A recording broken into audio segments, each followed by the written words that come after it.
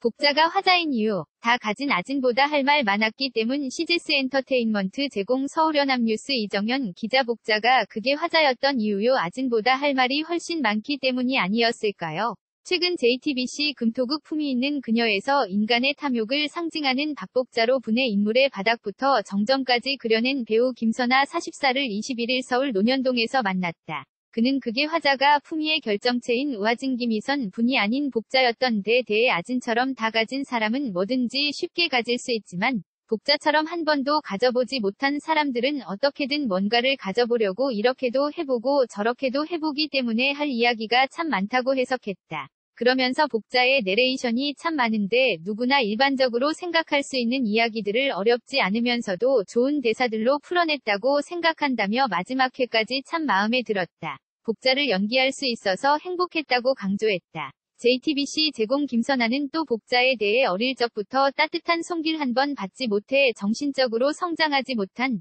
불쌍한 인물이라고 평했다. 어릴 때 마론 인형을 갖지 못해서 종이 인형을 오리고 놀잖아요. 정신이 10세 소녀에서 성장하지 못한 거죠.